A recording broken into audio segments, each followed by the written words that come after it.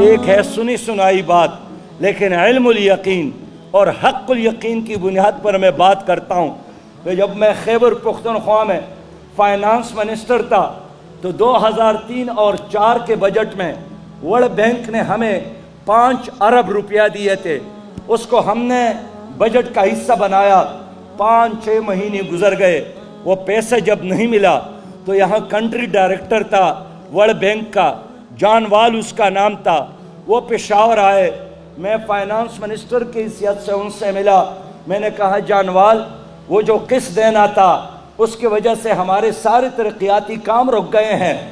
انہوں ہنس پڑے اور کہا کہ جو تم نے پشاور میں خواتین کے وہ بل بورڈ ان کی تصویروں پر جو مبنی تھی، اس کو توڑا ہے۔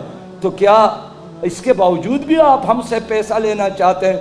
میں نے کہا کہ جانوار، ہمارے بل بورڈوں پر خواتین کی تصویر کا اور ورلڈ بینک کے قرضے کا کیا تعلق ہے؟ اس کا آپس میں کیا رشتہ ہے؟ وہ ہنس پڑے، انہوں نے کہا کہ قرض لینا ہے تو کلچر بھی لینا ہے، خارجہ پالیسی بھی، داخلہ پالیسی بھی اور تعلیمی پالیسی بھی۔ یہ کیسے ہو سکتا ہے کہ پیسہ ہمارا ہو؟